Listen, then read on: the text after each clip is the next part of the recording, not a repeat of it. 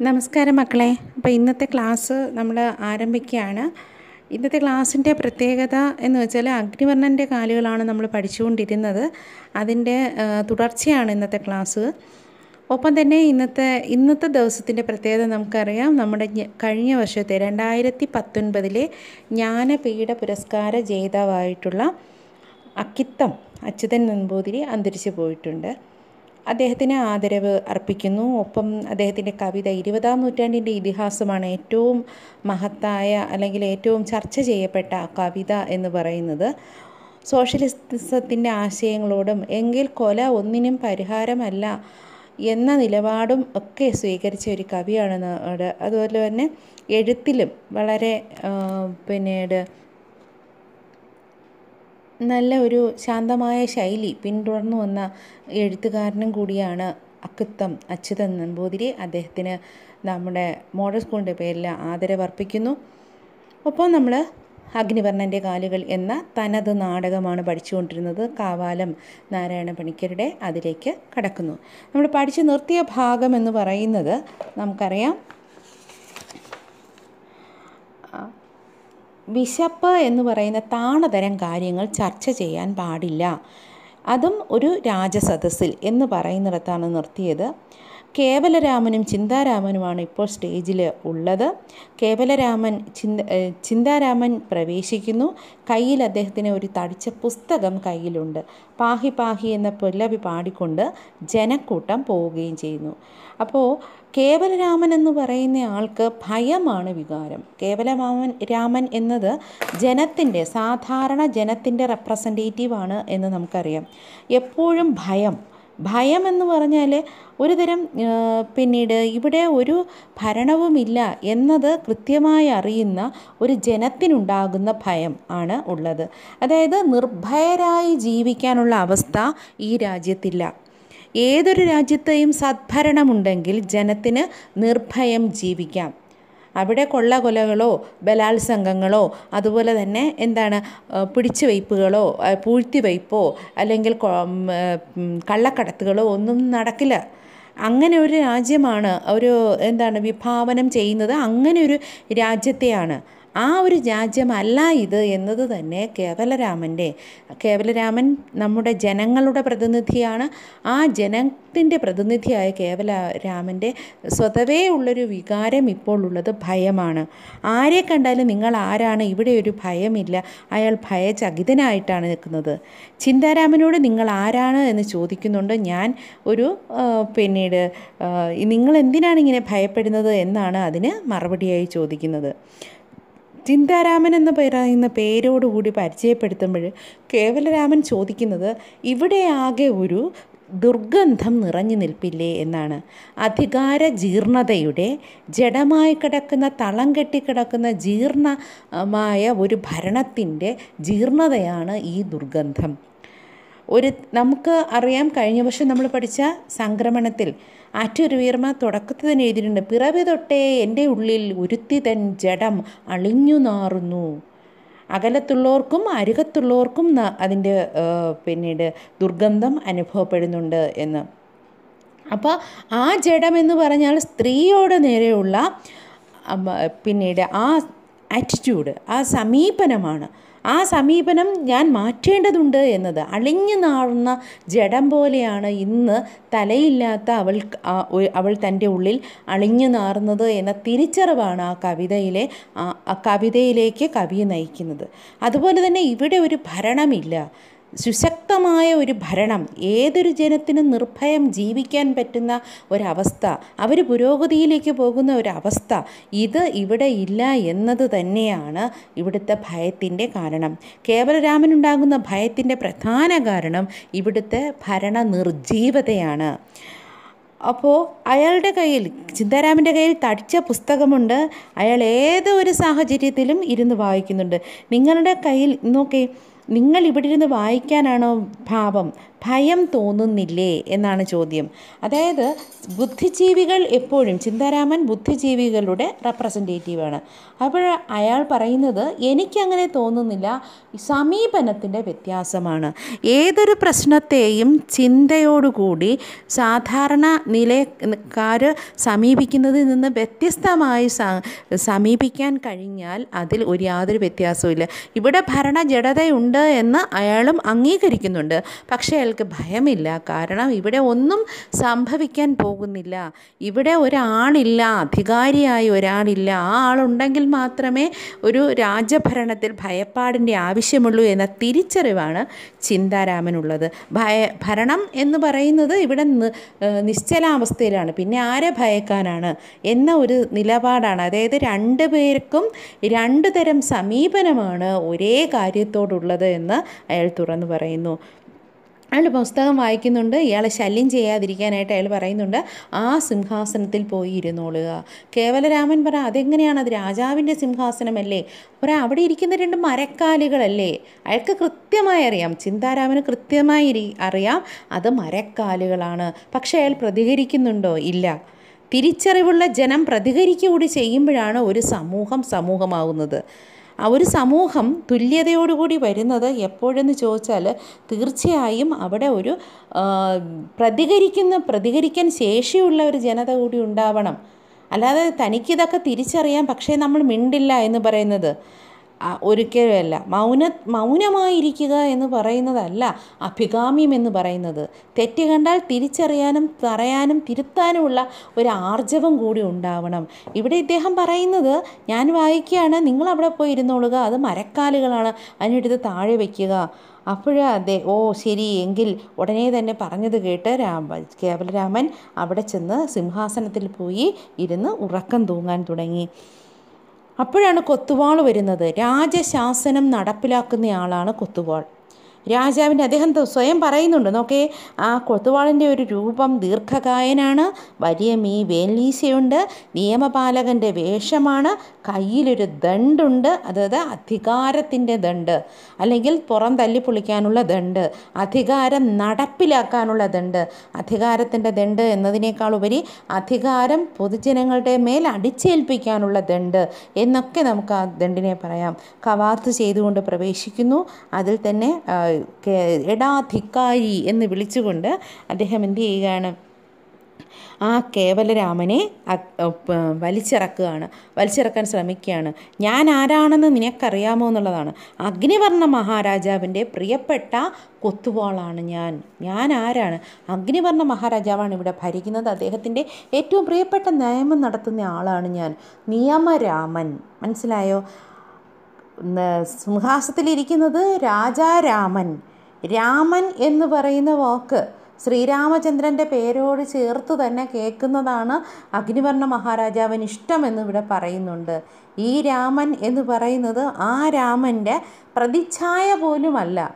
ആ എങ്കിൽ പോലും രാമൻ എന്ന പേര് എടുത്തുപയോഗിക്കുക മനസ്സിലായോ? അപ്പം നിയമരാമനാണ് ഇദ്ദേഹം. ശ്രീരാമചന്ദ്രന്റെ പേരോടുകൂടി എല്ലാവരും അറിയപ്പെടുന്നത് ആർക്കിഷ്ടമാണ്. അത് ഏറ്റവും പ്രധാനമാണ്. അത് നിങ്ങൾ വായിക്കുമ്പോൾ അത് അടയാളപ്പെടുത്തിയിട്ടോണം. ശ്രീരാമചന്ദ്രൻ എന്ന് പറഞ്ഞാൽ ഏറ്റവും നല്ല ഭരണം നടത്തിയ ആളാണ്. ഏറ്റവും നല്ല രീതിയിൽ ഭരണം നടത്തുകയും അതുപോലെ തന്നെ സ്വന്തം ഭാര്യയെപ്പോലും ഒരു പ്രജയുടെ സംശയത്തിന്റെ അവർ പരസ്പരം വഴക്ക് കൂടിയപ്പോൾ പറയുന്ന സംശയത്തിന്റെ ത്തെ തന്നെ എടുത്തുകൊണ്ട് അത് കളയാനായി സ്വന്തം ഭാര്യയെ ഉപേക്ഷിച്ച ആളാണ് ശ്രീരാമചന്ദ്രൻ. ഇവിടെയോ ആ പേര് ചേർത്ത് പറഞ്ഞുകൊണ്ട് ജനത്തിനെ പിടലിക്ക് പിടിച്ച് താഴേക്ക് തള്ളുക. മനസ്സിലായോ? അതാണ് ആ വ്യത്യാസം എന്ന് പറയുന്നത്. കാലം കടന്നു പോയപ്പോൾ രഘുവംശത്തിൽ സംഭവിച്ച അധികാരത്തിന്റെ രഘുവംശത്തിന്റെ ആ ഒരു അധികാര ഘടനയിൽ സംഭവിച്ച ജീർണത ഭരണത്തിൽ വിമുഖനായ രാജാവ്. ആ രാജാവ് വരുത്തി വെക്കുന്ന വിന അതാണ് ഇവിടെ നടക്കുന്നത്. രഘുവിന്റെയും ദിലീപിന്റെയും ഭരതന്റെയും ശ്രീരാമന്റെയും ഒക്കെ ഭരണകാലം ദശരഥന്റെയും ഒക്കെ ഭരണകാലം നമ്മുടെ ഉള്ളിൽ പച്ചപിടിച്ച് നിൽക്കുമ്പോഴാണ് ഇവിടെ എന്ത് സംഭവിക്കുന്നത്. ഒരു ഭരണമേ ഇല്ലാത്ത ജഡാവസ്ഥയിലേക്ക് ഈ രാജ്യം കൂപ്പുകുത്തി പോകുന്നത്. ഇത് ലോകത്ത് എവിടെയും നിശ്ചലമായൊരു ഭരണാവസ്ഥയുണ്ടെങ്കിൽ ആ ഭരണത്തിന് അനുയോജ്യമായ ആണ് ഈ പറച്ചിലുകൾ. എല്ലായിടത്തും നിയമം നടത്താൻ പട്ടാളം കയ്യേറുകയും ഒക്കെ ലോകത്തിന്റെ വിവിധ ഭാഗങ്ങൾ ഇന്നത്തെ സമകാലികമായ സമൂഹത്തിൽ തന്നെ നിങ്ങൾ ആലോചിച്ചാൽ അറിയാം. പട്ടാളം ഭരണം നടത്തുന്ന പ്രദേശങ്ങളുണ്ട് ഏകാധിപത്യ ഭരണം നടക്കുന്ന പ്രദേശങ്ങളുണ്ട് ജനായത്ത ഭരണം നിലനിൽക്കുന്ന ഭരണ പ്രദേശമുണ്ട്. അതുപോലെ തന്നെ ജനായത്ത ഭരണത്തിൽ തന്നെ കമ്മ്യൂണിസ്റ്റ് ആശയങ്ങൾ ആസ്വദിച്ച് ഭരണം നടത്തുന്ന സ്ഥലങ്ങളുണ്ട്. അതിൽ തന്നെ വിഘടനമായ ഭരണം നടത്തുന്ന സ്ഥലമുണ്ട്. അങ്ങനെ പല രീതിയിലുള്ള ഭരണം ലോകത്തെല്ലായിടത്തും നിലനിൽപ്പുണ്ട്. ഒരു കാട്ടുരാജാവിന്റെ നീതിയും അതുപോലെ തന്നെ നാട്ടുരാജാവിന്റെ നീതിയും ഒക്കെ വിഭിന്നമായ ഗോത്രങ്ങൾ വംശങ്ങൾ വംശാവലികൾ ഒക്കെ തന്നെ ഭരണങ്ങളുണ്ട്. ആ ഭരണത്തിലൊക്കെ തന്നെ പ്രജാഹിതമാണ് ഏറ്റവും പ്രധാനം. അതില്ലാതെ വരുമ്പോഴാണ് ഭരണം ഭരണമില്ലാതായി മാറുന്നത്. ചിന്താരാമ അപകടത്തിൽ താൻ എന്നെ കൈവിടില്ല എന്ന് ഉറപ്പ് തന്നിട്ട് പുസ്തകം വായനയാണോ? താൻ അവിടെ പോയി ഇരുന്നോളുക. ഞാൻ അപകടം വന്നാൽ തന്നെ പിടിച്ച് ഇത് ചെയ്തോളാമെന്ന് ഇദ്ദേഹം വാക്ക് കൊടുത്തിരുന്നതാണ് ഈ ചിന്താരാമൻ.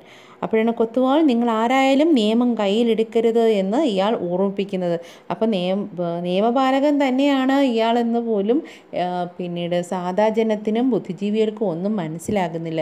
ഇതെന്ത് തരം നിയമപാലനമാണ് എന്ന് പോലും. ഈ വന്നിരിക്കുന്ന ആൾ നിയമപാലകനാണ് എന്ന് അംഗീകരിക്കാനുള്ള മനസ്സുകൂടി പ്രജകൾക്കില്ല. കാരണം അവർ രാജാവിനെ കാണുന്നില്ല. തൂക്കിയിട്ട് രണ്ട് മരക്കാലുകൾ മാത്രം കണ്ടുകൊണ്ടാണ് ആ രാജ്യത്ത് ഭരണം ഉണ്ട് എന്ന് മനസ്സിലാകും. അതും പ്രതികരണ ശേഷിയില്ലാത്ത മരക്കാലുകൾ. നോക്കേ. ഇവിടെ ഒരു രാജാവില്ല എന്നാണ് ഞാൻ മനസ്സിലാക്കുന്നത്. എനിക്കൊരു സംശയം. നിങ്ങളാണോ രാജാവ്? പ്രജ ഇതുവരെ രാജാവിനെ കണ്ടിട്ടില്ല. മുഖമോ ശരീരമോ ഒന്നും കണ്ടിട്ടില്ല. രണ്ട് മരക്കാലുകൾ മാത്രം പ്രതികരണമില്ലാത്ത രണ്ട് കാലുകൾ കണ്ടിട്ട് ആരാണ് രാജാവ് എന്നറിയാൻ വയ്യ. അടികൊണ്ട് താഴെ വീണ പ്രജ എണീറ്റ് നിന്ന് ചോദിക്കുന്നത് നിങ്ങളാണോ ഇവിടുത്തെ രാജാവ് എന്നാണ്. എന്ത് വേണമെങ്കിലും ധരിച്ചോളണം. സിംഹാസനത്തെ ആ മരക്കാലുകൾ ആരുടേതാണ്? അത് രാജാവിന്റേതാണ്. അപ്പോൾ മറുപടി കിട്ടുന്നത് കൊത്തുവാളിന്റെ കയ്യിൽ നിന്ന് ആ മരക്കാലുകൾ ആരുടേതാണെന്നത് അത് രാജാവിന്റേതാണ്. എങ്കിൽ പിന്നെ അദ്ദേഹത്തിന്റെ ബാക്കി ശരീരഘടനകൾ എവിടെ? തല കയ്യ് ചെവി മസ്തകം മൂക്ക് തുടങ്ങിയവയൊക്കെ എവിടെ? അപ്പോൾ എന്നാൽ അതിനൊക്കെ പിടിപ്പത് ജോലിയുണ്ട് അതൊക്കെ അതിന്റെ അതാതിന്റെ സ്ഥാനത്തുണ്ട്. പക്ഷെ നിങ്ങളെ കാണാൻ വരാൻ സമയമില്ല. ഒരു ഭരണകർത്താവും അങ്ങനെ ആയിരിക്കരുത്. സ്വന്തം പ്രജകളുടെ ക്ഷേമവും അവരോടൊപ്പമുള്ള അടുപ്പവും ഒക്കെ സൂക്ഷിക്കുന്നവനായിരിക്കണം ഭരണത്തിൽ വിജയിക്കുക. ജനത്തിനെ അറിയാതെ ജനഹിതം അറിയാതെ താൻ ഏതെങ്കിലും ഒരു വലിയ ചില്ല് കൊട്ടാരത്തിൽ ഇരുന്നു കൊണ്ട് ഭരണം നടത്തുക എന്ന് പറയുന്നത് അഭികാമ്യമായ ഒരു പ്രവൃത്തിയല്ല. അപ്പോൾ എനിക്ക് ഘടന അറിയാം. അതല്ലേ ഞാൻ തന്നെ പോലെ ഭയപ്പെടാത്തത്. അത് കണ്ടു രസിക്കാനാണ് ഞാനിവിടെ വന്നത് എന്നാണ് ചിന്താരാമൻ പറയുന്നത്. കേവലരാമൻ ഇത് മനസ്സിലാകുന്നില്ല. സാധാരണ ജനത്തെക്കാളും ഒരു പടി കൂടി മുന്നിലേക്ക് നിൽക്കുന്നതാണ് ബുദ്ധിജീവികൾ. അവർക്ക് മനസ്സിലാകുന്നുണ്ട്. ഞാൻ വന്നത് എന്റെ സങ്കടങ്ങൾ തൃപ്പാദങ്ങളിൽ ഉണർത്തിക്കാനാണ്. രാജാവിനോട് പറയുമ്പോൾ രാജാവിനോട് ഉണർത്തിക്കുക എന്നാണ് പറയുന്നത്. അത് രാജ പദവിയോടുള്ള ബഹുമാനാർത്ഥം ഉപയോഗിക്കുന്ന വാക്കുകളാണ്.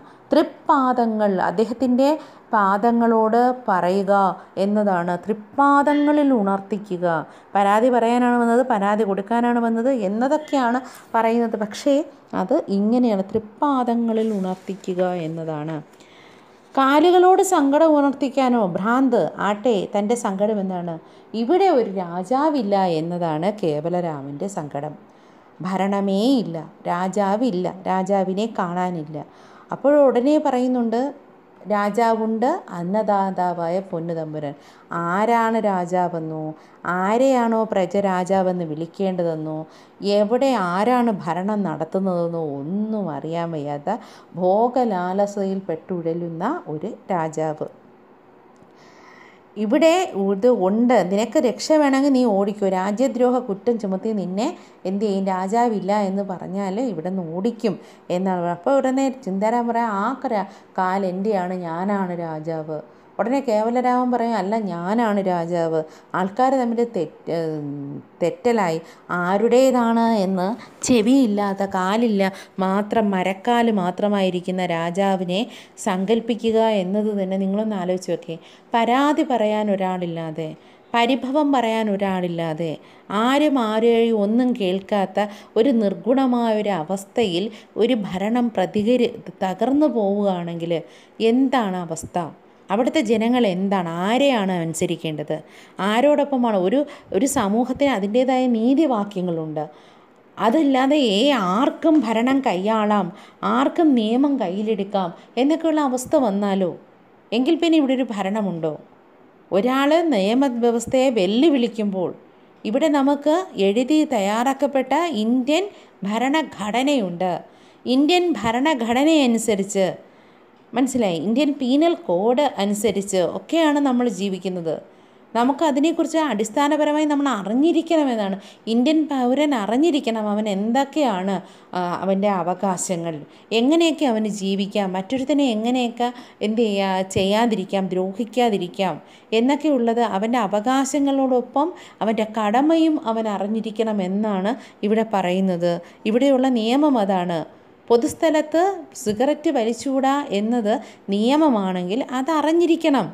അതറിയാതെ അവിടെ നിന്ന് സിഗരറ്റ് വലിച്ചിട്ട് എനിക്കിത് അറിയാൻ പാടില്ലായിരുന്നു എന്ന് പറയുന്നത് നമ്മുടെ നിയമവ്യവസ്ഥയിൽ അനു അനുകൂലമൊരു ജനം അറിഞ്ഞിരിക്കണം. ഇന്ത്യൻ ഭരണഘടന അങ്ങനെ കെട്ടിപ്പൊതിഞ്ഞൊരു സ്ഥലത്ത് വെച്ചിരിക്കുന്നതല്ല. എല്ലാവരുടേക്കും അറിയേണ്ടതാണ്. എല്ലാവരും അറിഞ്ഞുകൊണ്ട് ഇവിടെ നിയമം നടപ്പിലാക്കുന്നതാണ്. ഒരു ട്രാഫിക് ഏലന്റിന് നിങ്ങളൊന്ന് ആലോചിച്ച് നോക്കേ. തലങ്ങും വിലങ്ങും ഓടുന്ന വാഹനങ്ങൾ ട്രാഫിക് ഐലൻഡിൽ പച്ച ചുവപ്പ് മഞ്ഞ ലൈറ്റുകൾക്കനുസരിച്ചാണ് പ്രവർത്തിച്ചോടുന്നത് അതൊരു നിയമമാണ്. ആ നിയമത്തിനനുസരിച്ച് ചുവപ്പ് കത്തിയാലും ഞങ്ങൾ മുന്നിലോട്ട് പോകും പച്ച കത്തിയാലും ഞങ്ങൾ അവിടെ നിർത്തിയിടും എന്നൊക്കെ പറഞ്ഞാൽ എത്ര പേർക്ക് കുഴപ്പമാണ്. അപ്പോൾ ഈ നിയമത്തെ അനുസരിക്കുക എന്നതാണ് നമ്മുടെ മുന്നിലുള്ളത്. അത് ചെയ്യാതെ ആരെയെങ്കിലുമൊക്കെ കയറി അടിക്കുക ഇടിക്കുക എന്നൊക്കെ പറയുന്നത് ഒരിക്കലും നടക്കുന്ന ഒരു കാര്യമല്ല. അപ്പോൾ ആണ് ഇത് പറയുമ്പോഴാണ് ദണ്ട് ഉയർത്തിക്കാണ്ടുകൊണ്ട് താൻ പുസ്തകം വായിച്ച് അടങ്ങിയിരുന്നുള്ളുക കൊട്ടാരത്തിലെ കാര്യങ്ങളൊക്കെ തന്നെ ഇവിടെ കൃത്യമായി ഞങ്ങളുടെ ഒരു രാജാവുണ്ട്. അദ്ദേഹം ഇതിനേക്കാളും വലിയ പുസ്തകങ്ങളൊക്കെ വായിച്ചിട്ടുണ്ട്. അപ്പോൾ ഉടനെ ചോദിക്കാം അദ്ദേഹത്തിന് അപ്പോൾ വായുണ്ടല്ലേ? സംസാരിക്കാനുള്ള ശേഷിയുണ്ടല്ലേ? അപ്പോൾ പറയും ഇല്ല അദ്ദേഹത്തിന് തിരക്കായതുകൊണ്ട് ഒരാളെ ഇരുത്തിയാണ് പുസ്തകം മുഴുവൻ വായിക്കുന്നത് തിന്നു തീർക്കുന്നത് വായിപ്പിക്കുന്നത്. മനസ്സിലായി? അദ്ദേഹം ഒരുപാട് പുസ്തകങ്ങൾ തിന്നു തീർത്ത ആളാണ്. പുസ്തകങ്ങൾ തിന്നിട്ട് കാര്യമില്ല. അതിലുള്ള അറിവുകൾ ഉള്ളിലേക്ക് വെക്കുക എന്നുള്ളതാണ്. അതിനനുസരിച്ച് പ്രവർത്തിക്കുക എന്നുള്ളതാണ് വേണ്ടുന്നത്. പ്രായോഗിക തലത്തിലേക്ക് കൊണ്ടുവരിക എന്നുള്ളതാണ്.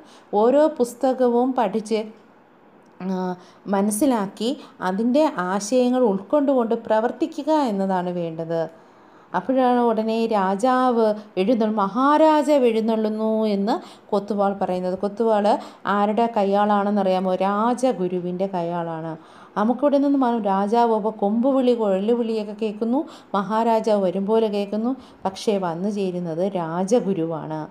ആ അദ്ദേഹത്തിനെ കുറിച്ചും പറഞ്ഞിട്ടുണ്ട്. പിന്നിലേക്ക് മുടി പാളത്താറും മേൽമുണ്ടും പൂണൂലും കയ്യിൽ അറ്റം വിളഞ്ഞ വെള്ളി കെട്ടിയ സവാരിവടി കൊത്തുപോൾ രാജകുമാർ രാജ രാജഗുരുവിനെ വണങ്ങി തന്നെപ്പോലെ വണക്കം കാട്ടാൻ രാമന്മാരോട് ആവശ്യപ്പെടുന്നു.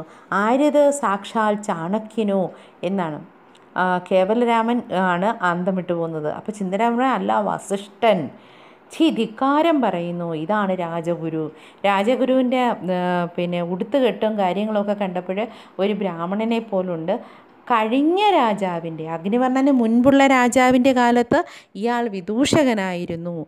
ഈ ഇദ്ദേഹത്തിന്റെ ഇന്ദ്രിയ ലോലസ ലോലത അല്ലെങ്കിൽ ലാലസത കാരണം ഇന്ദ്രിയ ഭോഗത്തിൽ മുഴുകിക്കഴിഞ്ഞ അഗ്നിവർണൻ മറ്റേ രാജാവിനെ കൊല്ലുകയായിരുന്നു. അപ്പോഴാണ് ഇദ്ദേഹം വിദേശകൻ എന്ന പദവി വിട്ട് എന്തായി മാറുന്നത്? അദ്ദേഹം പിന്നീട് രാ രാജഗുരു ഉപദേഷ്ടാവ് എന്ന നിലയിലേക്ക് വരുന്നത്. അറിയാലോ ഒരു തമാശ കാണിക്കാനും രസിപ്പിക്കാനും തോഴനായി നിൽക്കാനും ഒക്കെ ഉള്ള ആളാണ് വിദൂഷകൻ. ആ വിദൂഷകൻ രാജഗുരുവാകുമെങ്കിൽ രാജ്യത്തെ ഭരിക്കാനുള്ള ഉപദേശങ്ങൾ കൊടുക്കുമെങ്കിൽ എത്രത്തോളം അത് മികവിലെത്തും എന്ന് നമുക്ക് ഊഹിക്കാവുന്നതേ ഉള്ളൂ. ചിന്താരാമന്റെ വാക്കുകൾ പ്രധാനമാണ്. മരിച്ചുപോയ രാജാവിന്റെ വിദൂഷകനായിരുന്നില്ലേ നിങ്ങൾ? എന്ന് കേവലരാമൻ ചോദിക്കുമ്പോൾ നിങ്ങൾ മുമ്പ് ആരായിരുന്നു എന്ന് ഞങ്ങൾക്കൊക്കെ അറിയാം. ജനങ്ങളെ മുന്നിൽ കണ്ണിൽ മറയിടാം അല്ലെങ്കിൽ മണ്ണിടാം എന്നൊന്നും വിചാരിക്കേണ്ട. അപ്പോൾ ചിന്താകരൻ പറയുന്നു എടോ ക്യാമ കേവലരാമ മരിച്ചു പോയതല്ല കൊന്നു കളഞ്ഞ രാജാവ്. ആരാണ് കൊന്നത്? ഇപ്പോഴത്തെ കാലുകാരൻ രാജാവിന്റെ ഭ്രാന്ത് പിടിച്ച ഇന്ദ്രിയങ്ങളുടെ ലഹരിയിൽ ഇയാളല്ലേ പഴയ രാജാവിനെ വധിച്ചത്? പഴയ രാജാവിന്റെ സദ്ഭരണങ്ങളെ മുഴുവൻ ഇവൻ കൊന്നു കളഞ്ഞു അവൻ എങ്ങനെ എങ്ങനെയാണ് കൊന്നു കളഞ്ഞത് അവന്റെ പ്രവൃത്തി കൊണ്ടാണ് കൊന്നത്. അതോടെ ഈ വംശത്തിൽപ്പെട്ട എല്ലാ രാജാക്കന്മാരെയും ഇയാൾ കൊന്നു കളഞ്ഞു എന്നാലും പ്രവൃത്തി കൊണ്ട് കൊന്നുകളയുക. നമ്മൾ നന്ന നന്നായിരിക്കണമെങ്കിൽ നല്ലതായിരിക്കണമെങ്കിൽ തീർച്ചയായിട്ടും നമ്മളുടെ പ്രവൃത്തി നന്നായിരിക്കണം. നമ്മുടെ അച്ഛനെയോ അമ്മയെയോ ഒക്കെ നമ്മൾ എന്ത് ചെയ്യണം? അവരുടെ പ്രവൃത്തി നല്ലതാണെങ്കിൽ അതിനനുസരിച്ചായിരിക്കണം നമ്മളും. ഇല്ലെങ്കിൽ എന്താ പറയുക ഇന്നടത്ത ഇന്നയാളിന്റെ മോൻ. അവൻ എന്താ കാണിച്ചത്? അവൻ കണ്ടോ? അവൻ മഹാകുഴപ്പക്കാരനായി. നമുക്ക് ഒരു ദിവസം കൊണ്ട് അച്ഛനെ കൊല്ലാൻ കഴിയും. നമ്മളൊരു ചീത്ത കാര്യം ചെയ്താൽ മതി. അതോടുകൂടി പിന്നെ ആ പേരിലായിരിക്കും അറിയപ്പെടുന്നത്. അച്ഛൻ നമ്മുടെ പേരിൽ അറിയപ്പെടും. എന്താണ് ചാ നമ്മൾ ചെയ്തത് ഒരു ഒരു എന്താണ് ഒരു കഞ്ചാവ് കേസിൽ അറസ്റ്റായി. ഇപ്പം സ്വപ്ന സുരേഷ്. നിങ്ങൾക്ക് അറിയാവുന്നൊരു കാര്യമാണ്. സ്വപ്ന സുരേഷ് എന്ന് പറയുന്ന ആൾ കഴിഞ്ഞ കുറച്ച് മാസങ്ങൾക്ക് മുമ്പ് വരെ നമ്മളുടെ മാധ്യമങ്ങളിൽ പ്രത്യക്ഷപ്പെട്ടിരുന്ന ഒരു വ്യക്തിയേ അല്ല. സുരേഷ് എന്ന് പറയുന്ന ഒരു അച്ഛൻ അവൾക്കുണ്ടാവാം സ്വപ്ന സുരേഷ് എന്ന് പറയുന്ന ആൾ ഇപ്പം അറിയപ്പെടുന്നത് സ്വപ്നയുടെ പേരിലാണ്. ആ സുരേഷ് എന്ന് പറയുന്ന ആൾ അറിയപ്പെടുന്നത് സ്വപ്നയുടെ പേരിലാണ്. അപ്പോൾ ഒരു നൊട്ടോറിയസ് ക്രിമിനലായിട്ട് മാറപ്പെടുന്ന ഇപ്പോൾ ഒരു പിന്നീട് വിധിയൊന്നും വന്നിട്ടില്ല. ഒരു എന്താണ് സംശയത്തിന്റെ പേരിൽ ഒരു പക്ഷേ അറസ്റ്റ് ചെയ്യപ്പെട്ടതായിരിക്കാം. എങ്കിൽ പോലും നമ്മൾ മനസ്സിലാക്കണം ഇവിടെ നിന്ന് നമ്മളുടെ പ്രവൃത്തി കൊണ്ടാണ് നമ്മൾ എന്ത് ചെയ്യുക? ഒരാളെ എന്തായി മാറ്റുക? ഒരാളെ മറ്റൊരാളാക്കി മാറ്റുന്നത്.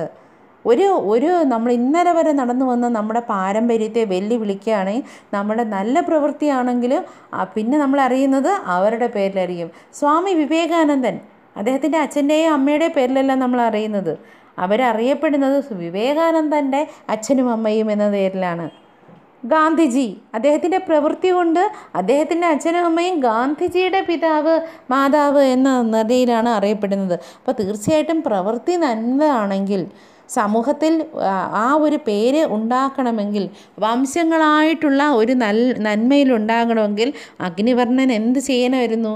രാമനെ ശ്രീരാമചന്ദ്രന്റെ ദിലീപിന്റെ രഘുവിന്റെ വംശത്തിലുള്ള രാഘവനായ ഈ രാമൻ അഗ്നിവർണ മഹാരാജാവ് എന്ത് ചെയ്യണമായിരുന്നു? നല്ല ഭരണം കാഴ്ചവെക്കണമായിരുന്നു അതില്ലാത്തിടത്തോളം കാലം അഗ്നിവർണ മഹാരാജാവ് തന്റെ വംശത്തിലെ മുഴുവൻ ആൾക്കാരെയും കൊന്നുകളയുകയാണ് ചെയ്തത്. നിർത്ത് അപ്പോൾ രാജഗുരുവിന് ദേഷ്യം വരികയാണ്. നിങ്ങളെ ഞാൻ വെറുതെ വിടാൻ നിശ്ചയിച്ചിട്ടില്ല. കൊലമരത്തിലേറ്റും എന്നാണ് പറയുന്നത്. അതായത് ഈ രാജ്യത്ത് നിയമങ്ങളൊക്കെ ഉണ്ട് ഞാൻ കൊലമരത്തിലേറ്റും. രാജാവിന് യാതൊരു പ്രതികരണ ശേഷിയില്ല രാജാവ് ഇതൊന്നും കേൾക്കുന്നില്ല. രാജാവിന്റെ റെപ്രസെന്റേറ്റീവ് ആയിട്ട് രണ്ട് മരക്കാലുകൾ അവിടെ ഇരിപ്പുണ്ട്. അതെടുത്ത് താഴെ വെച്ചാലും മുകളിൽ വെച്ചാലും ആരിവിടെ തന്നെ പറ്റി സംസാരിച്ചാലും അറിയാതെ ഇന്ദ്രിയ ലാലസയിലും ഭോഗസ്ഥയും മുഴുകി ജീവിക്കുന്ന ഒരു രാജാവ്. അധികാരത്തിന്റെ ജീർണമായ ഭൂമികയാണ് ഇവിടെ പിന്നീട് കാവാലം വരച്ചിടുന്നത്. ഇത്തരത്തിൽ ഏത് രാജ്യത്ത് ഏത് സ്ഥലത്ത് ഇങ്ങനെയുള്ള ഭരണം നടന്നാലും ശരി തന്നെ ആ ഭരണത്തിന് എന്താണ് നിരുത്തരവാദിത്വപരമായ ഭരണം എന്ന് നമുക്ക് പറയാൻ പറ്റും. അവിടെ ഒരു ഭരണമില്ല എന്ന് തന്നെ നമുക്ക് എഴുതി വെക്കാൻ പറ്റും. അപ്പോൾ ഇന്നത്തെ ക്ലാസ് ഇവിടെ നിൽക്കട്ടെ. എല്ലാവരും നന്നായി വീട്ടിലിരിക്കുക. സേഫ് ആയിരിക്കണം കുറച്ച് നാളുകൾക്ക് ശേഷം നമുക്ക് കാണാം. പക്ഷേ പാഠഭാഗങ്ങൾ പഠിക്കുന്നതിൽ യാതൊരു അമാന്തവും വരുത്തണ്ട. അത് നിങ്ങൾ നിങ്ങളുടെ ജോലിയാണ്. നിങ്ങൾ അത് കൃത്യമായി ചെയ്തുകൊണ്ടേ ഇരിക്കുക. അപ്പോൾ ഇത് നിന്നും ശരിക്കും നമുക്ക് ചോദ്യങ്ങൾ ഒരുപാട് തന്നെ വരാനുണ്ട്. ചോദ്യത്തിന്റെ സെഷൻ ഡിസ്കസ് ഡിസ്കസ് ചെയ്യുമ്പോൾ നമുക്കത് മനസ്സിലാക്കാം. ഓക്കെ? അപ്പോൾ എല്ലാവർക്കും ഒരു ഹായ് പറഞ്ഞുകൊണ്ട് നിർത്തട്ടെ. ഹായ്. ബൈ.